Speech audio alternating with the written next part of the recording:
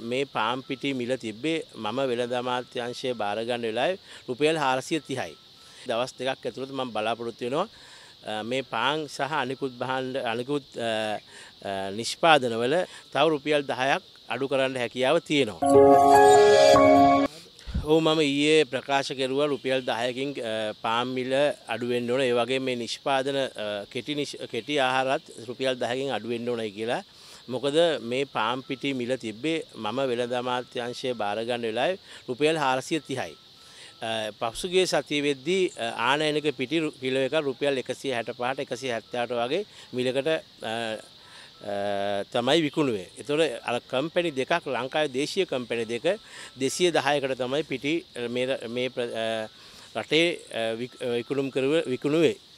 ඒ අනුව බලපුවම 210ට පාන් පිටි ලබා ගත්තත් ඒ අයත් එක්ක අපි බැලුවම තව රුපියල් 10ක් අඩු කරන්න හැකියාව තියෙනවා. ඒ නිසා මම එයාට කිව්වා මේ සම්බන්ධව වහාම ක්‍රියාමාර්ගයක් ගන්න ඉක්මනින් අඩු කරන්න. මම හිතන්නේ දවස් දෙකක් ඇතුළත මම බලාපොරොත්තු වෙනවා මේ පාන් සහ අනිකුත් භාණ්ඩ අනිකුත් නිෂ්පාදනවල මිල අඩු වෙයි කියලා. මොකද හේතුව අනිත් එක දේශීය නිෂ්පාදන දේශීය පාම් පිටි නිෂ්පාදන කරන සමාගම් වලටත් මම යම් සීමාවක් දැම්මා පිටි අත්‍යවශ්‍ය භාණ්ඩයක් කරලා 16 වෙනිදා ඉඳලා. ඒ මොකද හේතුව නැවත මේ රටේ පිටි හිගයක් නැති වෙන්නේ නැති වෙන්නත් ඒ වගේම පිටි මිල වැඩි නොකරන්නත් ඒ අනුව අපිට කටයුතු කරන්න පුළුවන්.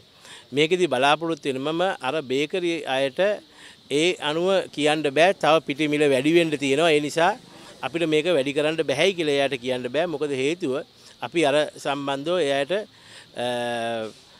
ගැරන්ටි එකක්. එහෙම නැත්නම් අපි එයාට පෙන්눔 කරලා තියෙනවා පිටිමිල වැඩි වෙන්නේ නැහැයි කියන එක. ඒ නිසා පිටිමිල අඩු වෙන්න හැකියාව තියෙනවා මිසක් පිටිමිල වැඩි වෙන්නේ නැහැ. ඒ නිසා අනිවාර්යයෙන්ම පාන් සහ බේකරි නිෂ්පාදන අඩු වෙන්න ඕන.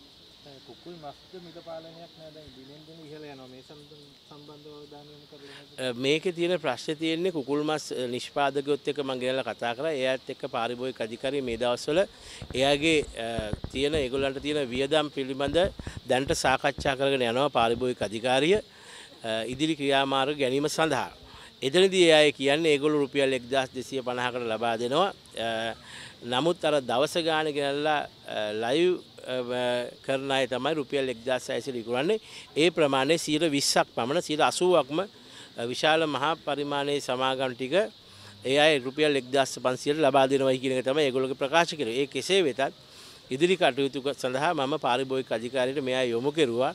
ඒ ගණනය කිරීමෙන් අනතුරුව මම අපි යෝජනා කරනවා එයන්ට කොච්චර ප්‍රමාණයකින් අඩු කරන්න ඕනද එහෙම නැත්නම් මොකක්ද ඉදිරි පීවර කියන එක මම තව දවස් කීපයකින් එයාට ප්‍රකාශ කරනවා.